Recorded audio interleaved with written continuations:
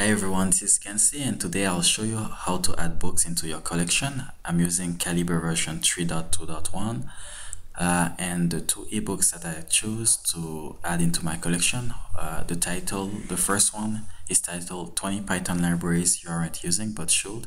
It's a free uh, ebook from O'Reilly and the second one I purchased it from Packtpub.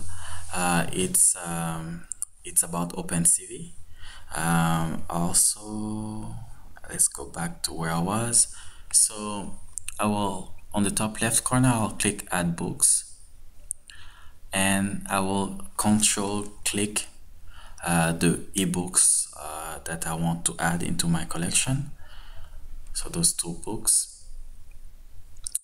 And uh, so as you can see on the right side here I don't have a lot of uh, metadatas uh, because if I select this one I have a lot of metadatas I have the description the uh, tags and and so on.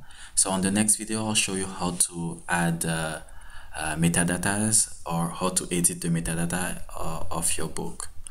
Also just before uh, finishing this video so you can also delete the original file of the ebooks because Calibre if you click right on a ebook uh, so and you select open containing folder so as you see uh, Calibre will save a copy into a different location.